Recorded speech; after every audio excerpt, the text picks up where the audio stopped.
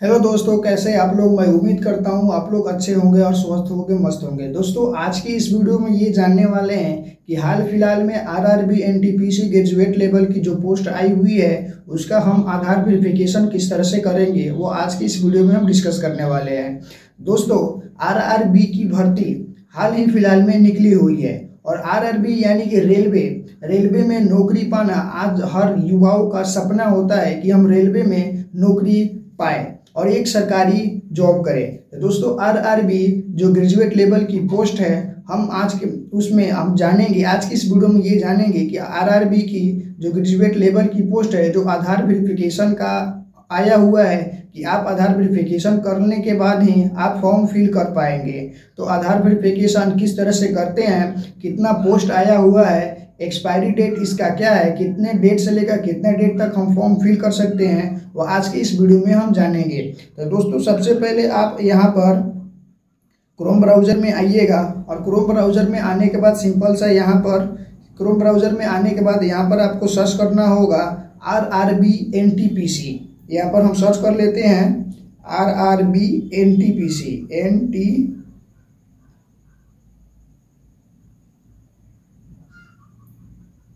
R R B N T P C यहाँ पर हम लिख के सर्च कर लेते हैं। और जैसे ही आप यहाँ पर सर्च कीजिएगा, आपके सामने कुछ इस तरह से इंटरफेस खुल के सामने आएगा। और यहाँ पर देख सकते हैं R R B N T P C दो हज़ार चौबीस नोटिफिकेशन आउट फॉर ग्यारह हज़ार पाँच सौ अंठावन। ग्रेजुएट एंड हम यहाँ पर सिंपल सा यहाँ पर क्लिक करेंगे और जैसे ही आप यहाँ पर क्लिक कीजिएगा आरआरबी के जितने भी नोटिफिकेशन है वो आपके सामने खुल के सामने इस तरह से आ जाएगा।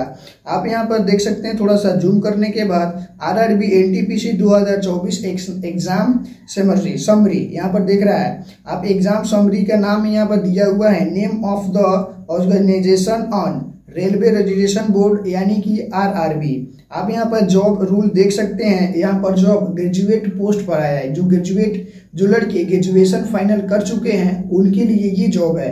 और ट्वेल्थ पास पर भी ये जॉब आने वाला है। जैसे ये नोटिफिकेशन आएगा, हम आपको वीडियो बना के बता देंगे कि उसमें किस तरह से फॉर्म ऑनलाइन करना है, किस तरह से आधार वेरिफिकेशन करना है। सारी वीडियो आपको इस चैनल पर मिलेगा।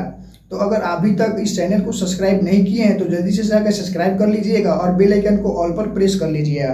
तो दोस्तों, यहाँ पर देख सकते हैं जो जॉब रूल है, वो ग्रेजुएट पोस्ट पर है, chips chemical cum, ticket supervisor, station master, goods train master, junior accountant, station cum, type senior, clerk of type. यहाँ पर बहुत प्रकार का ग्रेजुएट लेवल की पोस्ट पर जो आया हुआ है, पोस्ट यहाँ पर बहुत प्रकार का दिया हुआ है। अब यहाँ पर जॉब लोकेशन एक्रॉस यानी कि ये जॉब इंडिया में लॉन्च हुआ है। और टोटल वैकेंसी हम देखते हैं, जो ग्रेजुएट लेवल की पोस्ट है वह आठ हज़ार इक्यासी हज़ार तेरह। यानी आठ हज़ार एक सौ तेरह लेवल की पोस्ट है। और जो अंडर ग्रेजुएट लेवल की पोस्ट है, यानी कि जो ग्रेजुएशन नहीं किए हुए हैं, उनका है चौंतीस हज़ार पैंतालीस। जो उनका अभी नहीं आया हुआ है और हाल फ़िलहाल में ही आने वाला है, अक्टूबर में आने वाला है। तो यहाँ पर टोटल वैकेंसी आप यहाँ पर देख लिए हैं और मोड ऑफ़ एप्लीकेशन यानी जो एप्लीकेशन का फॉर्म फिल करना है, वो ऑनलाइन है। यहाँ पर ऑनलाइन यह पूरा किया जाता है। और अप्लाई ऑनलाइन ग्रेजुएटर यहाँ पर इसका हम डेट पता करते हैं तो डेट है चौदह सितंबर से लेकर तेरह अक्टूबर तक, यानी एक्सपायरी डेट तेरह अक्टूबर तक ये एक्सपायर हो जाएगा। यानी फॉर्म भरने का समय है चौदह सितंबर से लेकर चौदह चौदह, तेरह अक्टूबर के बीच में ही आप ये फॉर्म फिल कर सकते हैं। और अंडर ग्रेजुएट जो लेवल है, यानी कि जो लड़के ट्वेल्थ पास हैं वह 21 सितंबर से लेकर ट्वेल्थ अक्टूबर, यानी 20 अक्टूबर तक ही फॉर्म फिल कर सकते हैं। और qualification on R R B N T P C हम क्वालिफिकेशन की अगर बात करें तो twelfth plus two stage any graduate यानी जो लड़के ट्वेल्थ पास कर लिए हैं या टेंथ पास भी है, उनको भी ये आरआरबी फॉर्म फिल कर करने करना है। यहाँ पर खुद आप देख सकते हैं। और दोस्तों एज लिमिट की बात करें हम तो एज लिमिट है 18 से लेकर 33 वर्ष और 18 से लेकर 36 वर्ष यानी आपका एज अगर 18 से ले 18 से लेकर 36 के बीच में है तो आप ये फॉर्म फिल कर सकते हैं। दोस्तों selection for R R B N T P C C B और इसका एग्ज़ाम जो होगा सी बी टी वन और सी बी टी और स्केल टेस्ट स्केल टेस्ट यानी माइंड टेस्ट और डॉक्यूमेंट वेरिफिकेशन और मेडिकल टेस्ट भी होगा।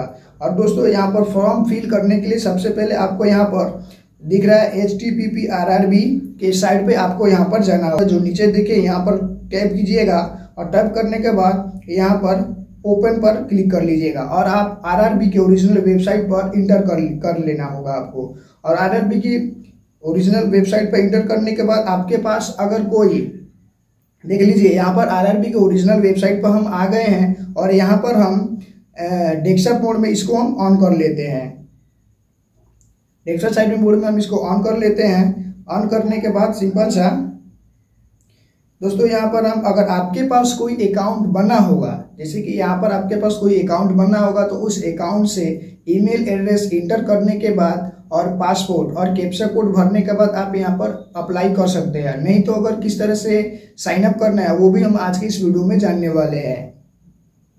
दोस्तों, यहाँ पर दे रहा है कि online here to apply click here to apply आवेदन करने के लिए यहाँ क्लिक करें तो हम यहाँ पर आवेदन करने के लिए क्लिक कर लेते हैं।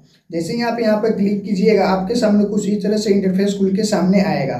और यहाँ पर देख सकते हैं, यहाँ पर लिया लिखा हुआ है अप्लाई अप्लाई पे क्लिक कर, अगर आपके पास एक अकाउंट बना हुआ है, पहले से अकाउंट बना हुआ है तो आप यहाँ पर ऑलरेडी हैव एन अकाउंट पे क्लिक कीजिएगा। और आपके पास अकाउंट नहीं बना हुआ है तो करेक्ट ऑन अकाउंट पे क्लिक कीजिएगा। जैसे मैं, मेरे पास, अगर आपके पास अकाउंट नहीं बना हुआ है तो हम यहाँ पर सिंपल से बना के आपको बता देते हैं। तो आप यहाँ पे क्लिक कीजिए और क्लिक करने के बाद यहाँ पर ओके पे क्लिक कर लीजिए। जैसे यहाँ पर दिख रहा है कंट्री ऑफ़ नेशनलिटी आप किस कंट्री से बिलोंग करते हैं, आपको उस कंट्री का नाम यहाँ पर इंटर करना होगा। जैसे आप यहाँ पर इंडिया से अगर बिलोंग करते हैं तो आप यहाँ पर इंडिया दे दीजिएगा और नेपाल से या भूटान से जिस भी कंट्री से आप बिलोंग करते हैं सिंपल से यहाँ पर आपको आप यहाँ पर इंटर कर लीजिएगा। हम इंडिया से बिलोंग करते हैं तो यहाँ पर हम इंडिया लिख लेते हैं और आपका जो भी फुल नेम है, आप यहाँ पर फुल नेम इंटर कर लीजिएगा। और नाम आपका क्या है, ये तो आप भी जानते हैं, आप आसानी से अपना नाम भर सकते हैं। मैं यहाँ पर आपको ये बताऊँगा कहाँ कहाँ क्या इंटर करना है। आप वहाँ सिंपल से यहाँ पर इंटर कर लीजिएगा। यहाँ पर अपना फुल नेम भर लीजिएगा और रीटाइप फुल नेम यानी फिर से अपना नाम यहाँ पर टाइप करना है। और यहाँ पर दे रहा है have your change your name यानी कि अपना नाम आगे चल के बदलना चाहते हैं। अगर बदलना चाहते हैं तो येस पे क्लिक कीजिएगा और बदलना नहीं चाहते हैं तो नो पे क्लिक कीजिएगा। और यहाँ पर डेट ऑफ़ बर्थ आपका जो भी डेट ऑफ़ बर्थ है और डेट ऑफ़ बर्थ वहीं डालिएगा, जो आपके क्लास टेंथ की जो मार्कशीट पर है, वहीं आपको यहाँ पर डेट ऑफ़ बर्थ इंटर करना होगा। नहीं तो आगे चल के आपको परेशानी होगा और रेलवे ग्रुप डी जो ग्रेजुएट लेवल की पोस्ट आई हुई है, वो आपको रिक्वायरमेंट नहीं करेगा।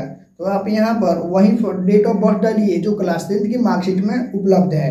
तो यहाँ पर फिर से आपको retype date of birth enter करना होगा। और आपका जो भी जेंडर है, जैसे मेल फीमेल लड़की हैं तो फीमेल और लड़का है तो मेल यहाँ पर इंटर कर लीजिएगा। यहाँ पर जो भी फॉर्म फिल कर रहा है, यहाँ पर रीटाइप यानी दोबारा डालने के ऑप्शन दे रहा है। और यहाँ पर अपना फादर्स नेम इंटर कीजिएगा, और यहाँ पर retype father's name mother's name भी है, फिर रिटाइप मदर्स नेम भी है। और आधार वेरिफिकेशन करने के लिए मेन मुद्दा आप यहाँ पर आ रहा है। दोस्तों, अगर आपके पास आधार कार्ड है तो आप आधार कार्ड से भी वेरिफिकेशन कर सकते हैं। और आपके पास अगर पैन कार्ड है तो आप पैन कार्ड से भी वेरिफिकेशन कर सकते हैं। तो अगर आपके पास आधार कार्ड है, दोस्तों, पैन कार्ड से देखा जाता है कि पैन कार्ड से जितने भी बच्चे आधार वेरिफिकेशन किए हैं उसका गड़बड़ हो रहा है। तो आपको आधार कार्ड जब आपके पास है तो आप आधार कार्ड से ही वेरिफिकेशन कीजिएगा। तो हम सिंपल से आप यहाँ पर अपना आधार कार्ड इंटर कर लीजिएगा।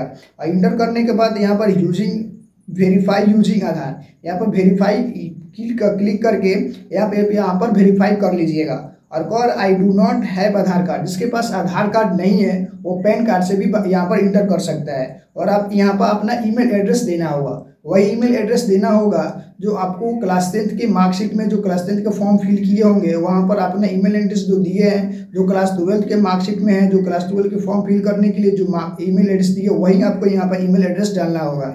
और ईमेल एड्रेस किस तरह से बनाना है, मैं आपको वीडियो में आगे बताऊँगा।